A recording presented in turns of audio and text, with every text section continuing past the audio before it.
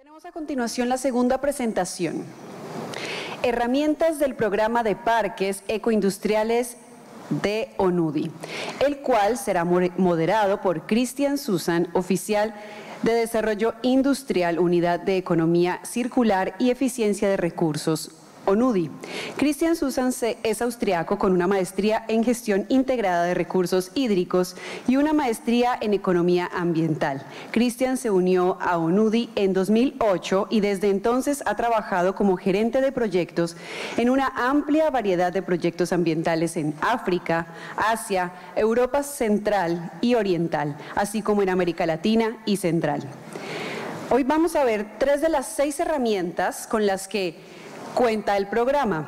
Ellas son Herramienta de Política de PEI, a cargo de Dieter Mutz, profesor de la Universidad de Ciencias Aplicadas del Noroeste de Suiza y líder del equipo Unión Europea-India Eficiencia de Recursos. Segunda herramienta de evaluación de PEI, a cargo de Jorge Urbina, coordinador nacional de proyectos HAPE Perú. Y tercer Simbiosis Industrial a cargo de Dick Van Beers, profesional independiente e internacional en sostenibilidad. Quiero invitar a Cristian al escenario para que lidere esta serie de presentaciones.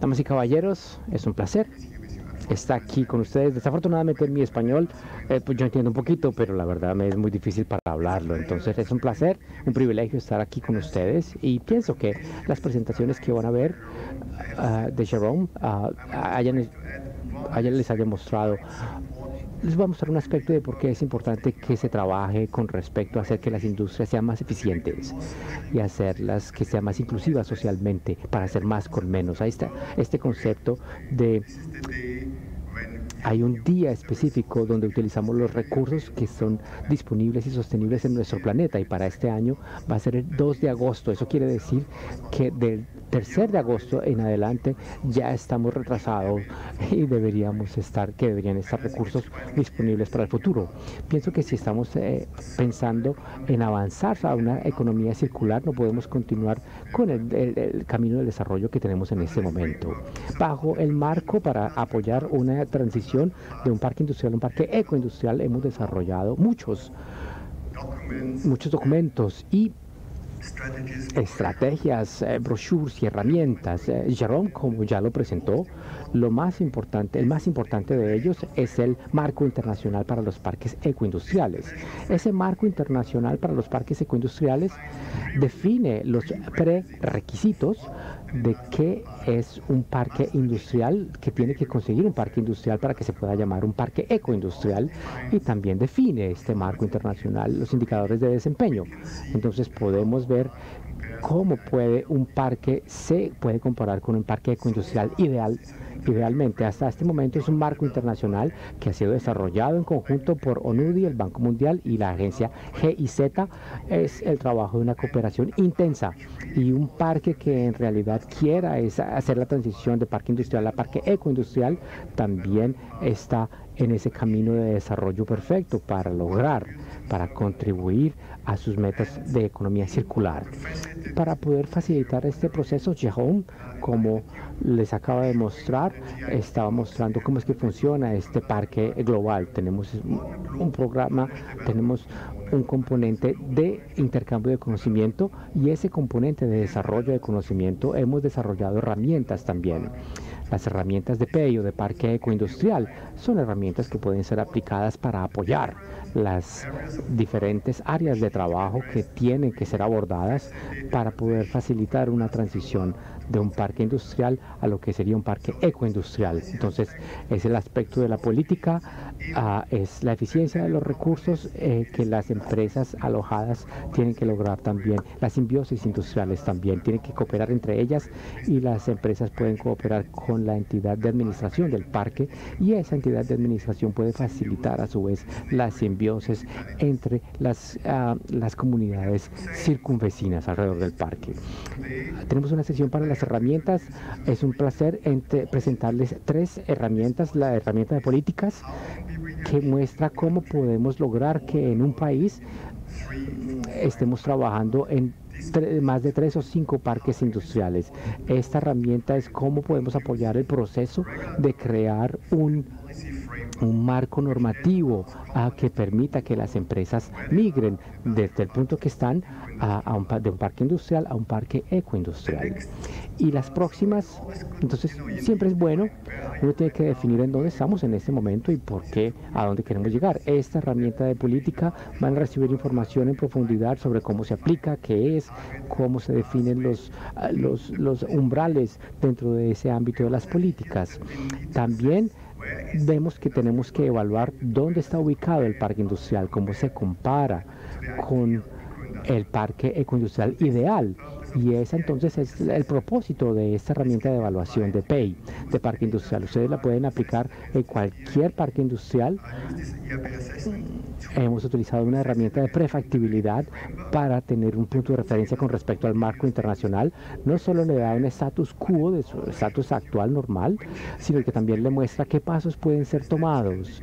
Y esos pasos pueden ser mejorar la administración, pueden ser su desempeño medioambiental, mejore su desempeño social o mejore su eh, desempeño financiero eh, con las empresas alojadas. Pienso que es muy claro, eh, con las fortalezas que tenemos en ONUDI, trabajamos con entidades del sector privado y tenemos que estar al tanto de que si proponemos algunos resultados con respecto a eficiencia de recursos,